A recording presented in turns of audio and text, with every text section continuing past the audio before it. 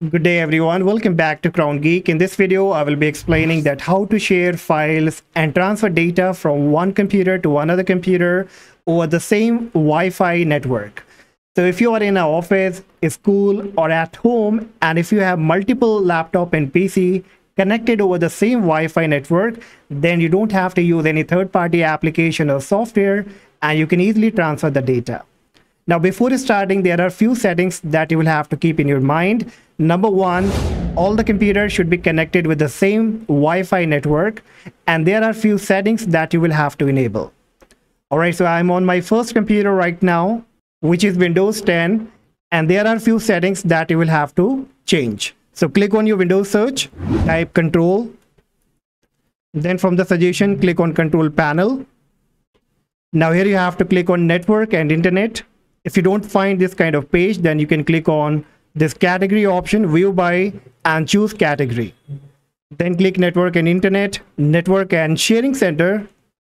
And then from the left hand menu option, click change advanced sharing settings.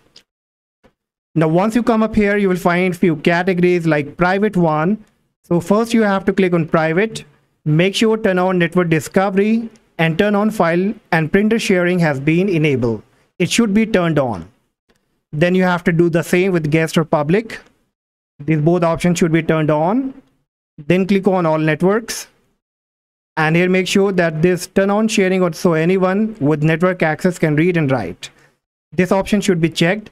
Then come down to the very bottom and you will find password protected sharing. You have to turn off this option. Once you are done, you can click on save changes and then you can close it. Now you also need to enable few services. So for that, click on your Windows search, type services, hit the enter key. The first service that you have to find here is SSDP Discovery. So you can come to the S section and look for SSDP Discovery. Once you get it, double click on it. And here just make sure the startup type has been set to automatic and the service status is running. And if not, then click on the drop down, choose automatic, and then click on start. Then click apply and then click on OK.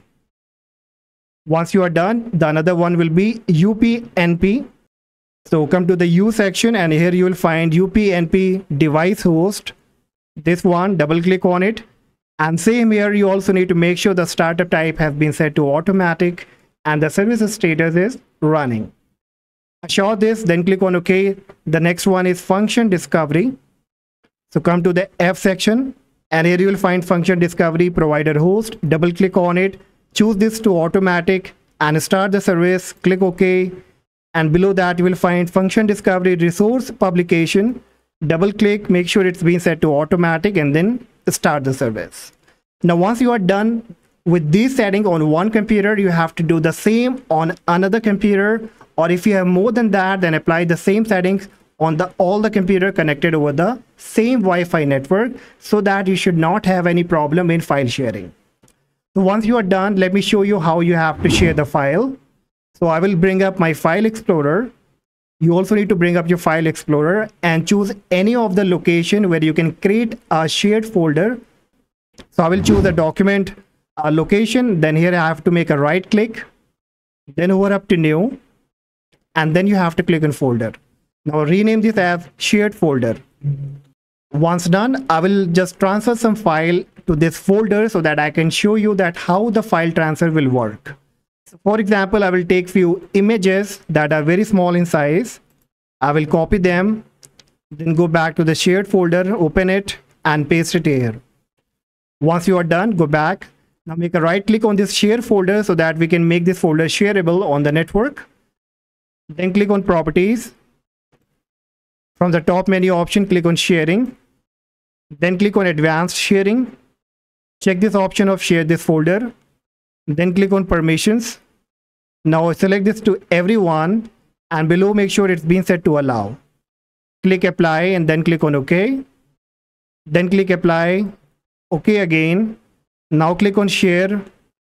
From the drop down choose everyone click on add and give the read and write permission. Then click on share and then click on done.